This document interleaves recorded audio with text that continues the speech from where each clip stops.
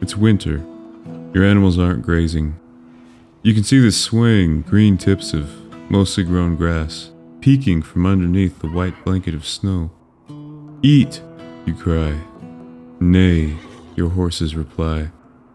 Until now, in comes the much needed animal feeding overhaul, Graze Up. Brought to you by the legendary Kitakon, this mod completely overhauls grazing mechanics in RimWorld. Animals can now graze in the winter, even when most plants are covered in snow. When grazing, animals will now eat a portion of growth equal to the nutrition consumed, instead of eating the entire plant outright. Now, you can set your chickens out to pasture without fear of total dandelion annihilation. While this does make things easier for your growers, it doesn't feel overpowered. Plants don't last forever, so you will be working to keep your fields fresh and your grazers fed. Only now, plants won't be eaten with near perfect surgical precision. In the real world, however, grazers can be destructive.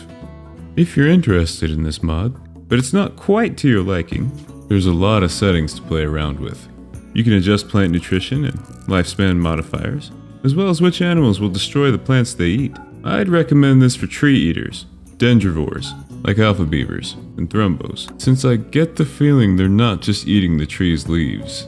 This mod is also highly compatible. It should work with other flora mods and apply its changes to any modded plants as well. Overall, it just makes grazing feel a bit more fleshed out, realistic, and not just a bother. So go on, have a look at it. Link in the description below. I can't recommend this mod enough. It's truly a grazing. Anyways, like, sub, Patreon. Wait, Patreon?